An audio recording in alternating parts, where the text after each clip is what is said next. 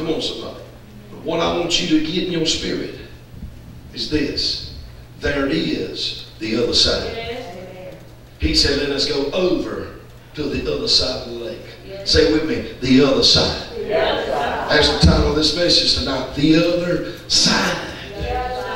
We only see this side where the storm's at. And you know what the Holy Ghost told me one day? He said, Marvin, it would have took them days of slow, smooth sailing, because smooth sailing is often slow.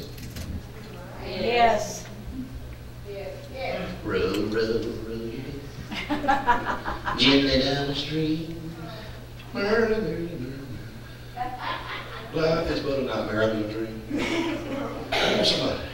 Amen. It's just easy rolling, Easy. but it's slow going. Slow go. What the storm does is speed up the process. And God said in these latter times, like He prophesied Sunday morning, I'm doing some quick things. Amen. And anytime God wants to do a quick work, He allows divine interruptions. He allows storms to come down after they're sifted through him. He permits problems. He allows Sister Sandpaper and Brother Bucket Mouths to show up. You know, nobody look around, but you meet them. Come on, somebody. Often you meet them on the front row or in the middle or at the altar, and sometimes in the pulpit. You meet them all over the church. Come on, somebody. Hallelujah. But God allows devils. He permits struggles and strains and stress and all kind of things to, to contest you, to come against you, to fight you. Amen. Why? Because God said, I'm using it. I'm using the devil. I'm using the mountains. I'm using the storms. Even Psalms 30 verse 7, David said, You've made my mountain to stand strong. Amen. Because of your favor. In other words, David said it was the favor of God that allowed his mountain to stay when he wanted it to go. Somebody shout, My mountain, his favor. Sometimes God's favor is in that He don't allow the mountain to go nowhere. He allows it to stay in your way for a little while longer. Praise God. Sometimes the storm winds don't stop. They stay contrary to you. They're pushing against you. Amen. But what you don't know, they're pushing you somewhere. They're propelling you. They're carrying you somewhere. And God, you couldn't get there Him. And if you could, it sure take you a longer time to get there. Come on. You show me somebody that goes through things and hang- hangs on to God and trust Him. That'll be the person that God catapults quickly into His work. Stormy winds speed up the process. It would have took them longer, somebody say, to get to the other side. Get to the other If there side. hadn't have been a wind. Somebody shout, don't curse the wind. The wind may be your best friend. The storm may be your best friend. The problem may be your best friend.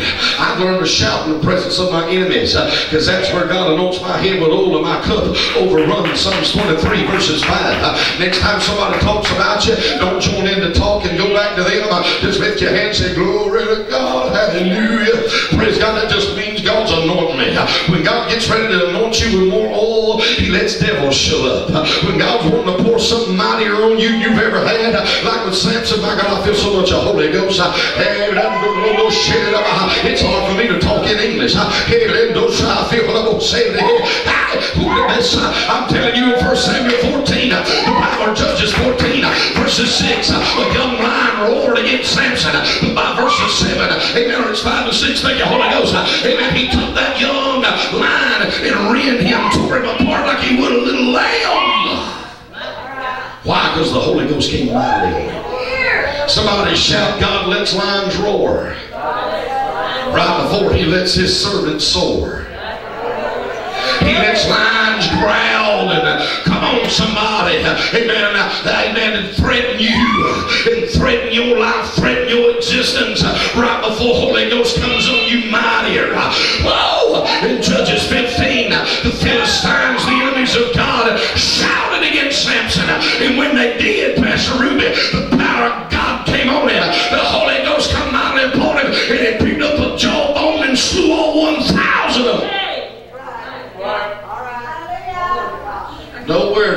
Hear about Samson, the Holy Ghost coming on him until an enemy came against him. That's right.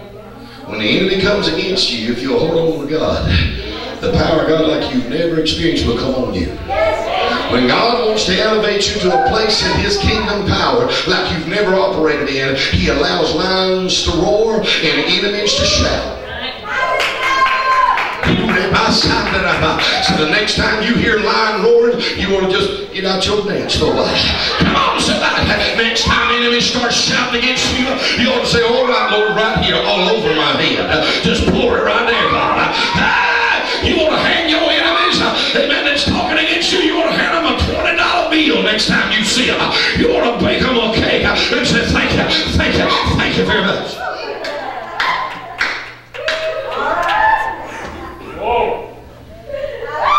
Speeding up the process for you. Go ahead, go ahead, sis. They that sit in the heavens laugh anyhow. Psalms 2 4. Blessed are they that mourn, they shall laugh. Luke 6 21. So in tears you reap in joy. Psalms 126 5. Look at somebody beside you say, You wept long enough. Tonight's it's time to laugh. Uh, you wept long enough. Tonight it's time to hold top.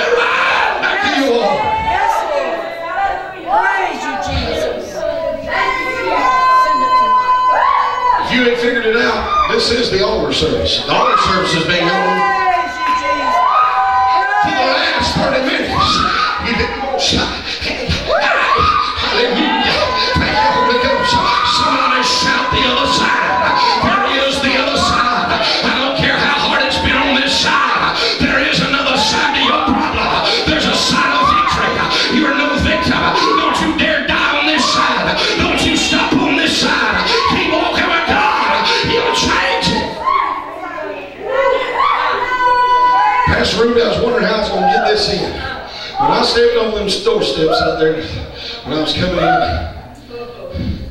I heard Daniel 2.21. He said, I'm the God that changes seasons and times. And you know what I was thinking about? I was thinking about in February, just a few months ago. I was in a region in Wisconsin. About an hour and a half from the Canadian border, I think. They come pick me up in the motel every night. I'd have to walk carefully not to slide down in ice and stuff. Woo. I was carrying my camera. And that thing's about 25 pounds. I carry that thing to the airport and on planes everywhere, man. Got me a workout. Hello? And I remember coming out of that motel, man, the, the, the cold air just bites you. And I remember walking in that snow very carefully going to the car. And I remember getting out at the church property, and it looked like an ice uh, skating rink, the whole parking lot. Oh. Wind blowing the snow sideways. Know, and I'm being careful to walk in. And tonight I was just walking with ease, not walking carefully anyhow. And it, and occurred to me, I said, man, just a few months ago, I was coming into the house of God to preach the word of the Lord, and it was cold. I said, but now here I am in Central Florida, 85 degree weather. Just a few months later, and I'm walking in, and everything's nice, everything's warm. Come on, somebody. As a matter of fact, the coat I had on was too hot in this sun, but it looks good and it covers up some rolls. So, amen. We pray. Hallelujah. Amen. Amen. Because now my shirt don't like to stay in. It tries to come out. Come on, somebody. Because there's more up here pulling it out. There ain't enough down there to keep it in. Amen. Anybody know what I'm talking about? Hallelujah. Gravity has uh, begun to take his hold. Hey, amen. But I was coming in and, I, and that, that scripture hit my spirit, Pastor Ruby, and I heard these words thereafter. Seasons change. Seasons change. Sorry, sister cameraman, woman, lady. Praise God, I just did a Holy Ghost moonwalk, a sunwalk right there real fast. Praise God. I said seasons change. There's a season change in the working.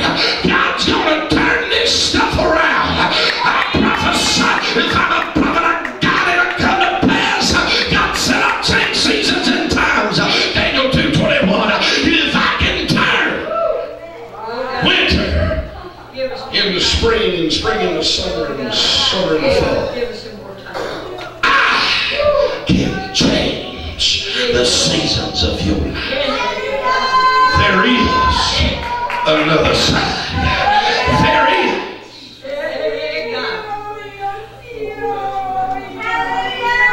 The Lord says, what appeared to not work months ago and seems like it was even took away.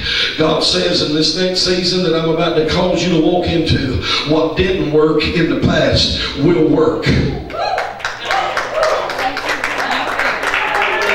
God said it was my my calling, it was my anointing on you then, but the timing weren't right. But God said this time it's going to work.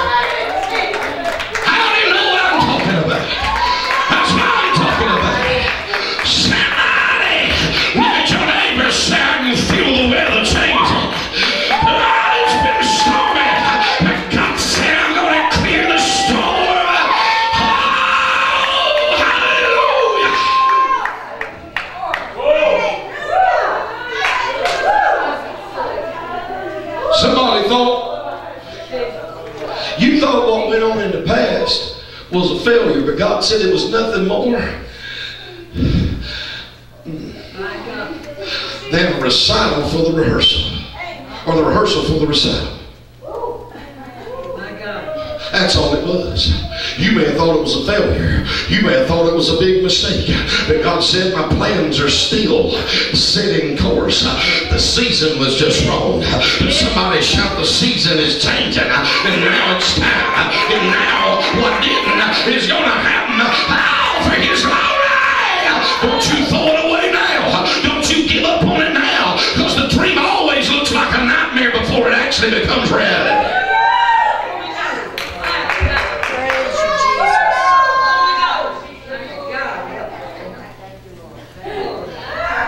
Here's my notes. All one and a half hours eh? there. Somebody's thinking, I thought you had that's for singing songs. I can't remember a song that saved my life. I remember scripture by the power of the Holy Ghost, but I can't remember songs. Now I can sing songs I've never heard with ease. Figure that out. Mm. Praise God. One. If I can end.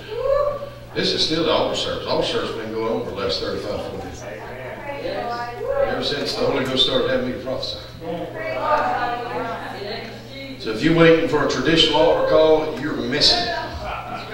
It's on. I said it's been on. That's it.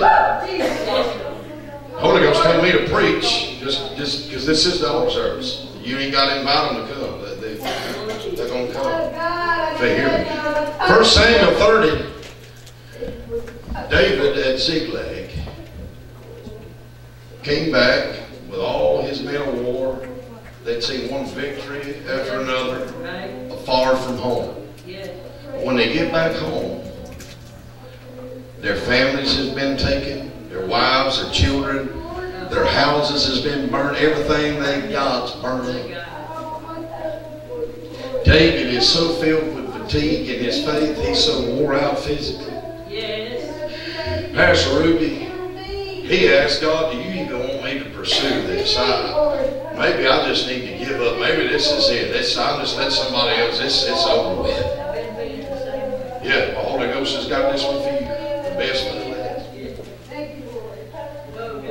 And Ziklag in Hebrew means the place of blessing. It, it means the place of pressed down, shaking together, one another. It's the place of blessing. But it don't look like no place of blessing. It's burnt out. And sometimes that's amazing. You can go and Let God use you and bring victory to everybody else's house, but then when you get back to yours, everything's burned up. Is what David felt like. Here I have, I've set nations free. God through me. I've set captives free. Destroyed enemies for others. And only to get back to my house and everything's being destroyed. He just felt like quitting. God spoke to him in 1 Samuel 30, verse 8. Said, Surely you shall pursue, overtake, and recover all. And in verse 19, he did. When I was studying this one day, this thing leaped. See, you don't read the Bible, it reads you. And this leaped off into my spirit because some scholars were studying. Chronologically, that means at the same time David was experiencing his worst burnout time. Enemy was destroying his house, his home, his children, his wife. He didn't even feel like trying no more. Chronologically, at the same time he was feeling like this, in 1 Samuel 31, the very next chapter, on the other side of a mountain called Gilboa. In verse 4, his worst enemy, Saul, was falling on the edge of his sword, killing him on himself. Somebody shout when David was on this side of the mountain. He felt burned out, used up, felt like he didn't want to even try no more. He just wanted to quit.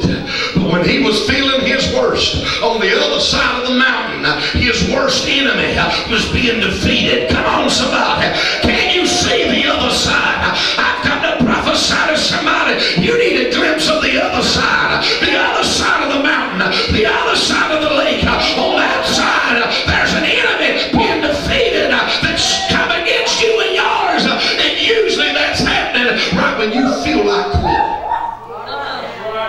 Feel like quitting on this side.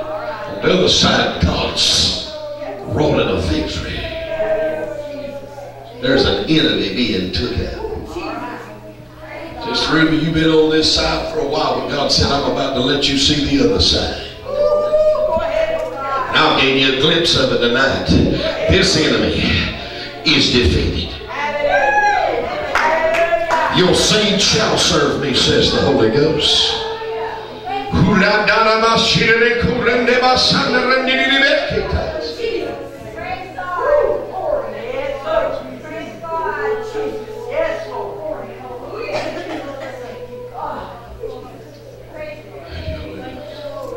I was about to say something else, but Holy Ghost said that word ain't for tonight. Thank you, Lord. The other side.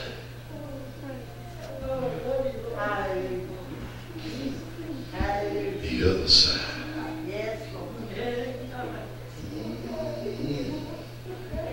The other side. You want to close your eyes and look at it for a little bit.